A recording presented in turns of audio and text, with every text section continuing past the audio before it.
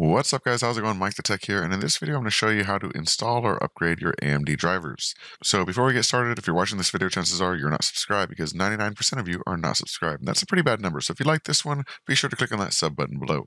So let's go ahead and jump into the video itself. The first thing you want to do is check which graphics card you have if you don't already know.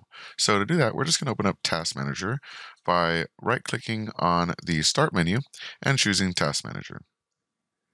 Inside Task Manager, we can go to Performance, scroll down until you see your GPU, and you're going to look for the actual model of your GPU. In this case, it is RX 5700 XT. So let's go ahead and open up the AMD website and look for that model. We're going to go into Downloads and Support, and we're going to choose Drivers.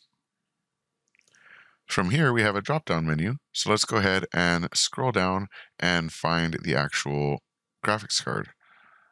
So again, we have the 5700 XT. We're going to go to Graphics and scroll down until we see the 5700 series.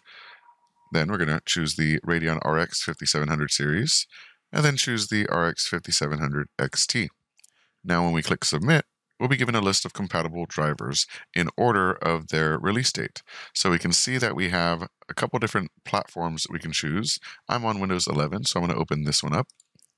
And here we have the different versions of the driver itself, along with their release date, as well as the auto detect and install, which you can use if you couldn't find the name of your graphics card specifically.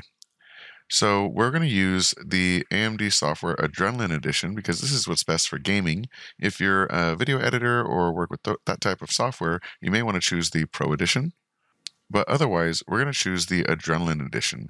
Now there's two of these we can use. We can use the recommended version, which came out December 8th of 2022, or we can choose the WHQL version, which came out May 10th of 2022. So I'd like to choose the latest version, so I'm going to go ahead and choose the 12.8 version. Let's click on download. And we can ignore this form for now and just wait for the download to complete. Let's go ahead and open up this software and click yes. And we can see that it's going to extract into its own folder as it installs. Let's go ahead and click on install.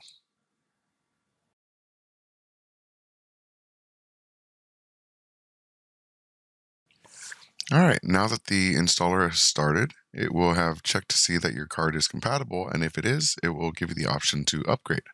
Let's go ahead and choose additional options here to look at the rest of the options we have. Factory Reset doesn't actually restart your computer. What it does is it removes all of the prior versions of AMD software and temporarily pauses Windows Update on your system. You'll want to use this if you're having issues with your AMD software.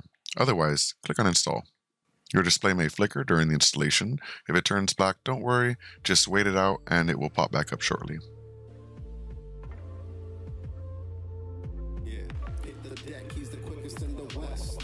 All right, once you've gone ahead and installed that, you'll need to restart your computer to finish the installation. All right, so I'm gonna go ahead and stop the video here because obviously if I restart my computer, it's gonna stop the recording. So uh, let me know in the comment section below if you have any questions or comments about the video itself and I can try and give you a hand. Thank you so much for watching and have a great day. Peace.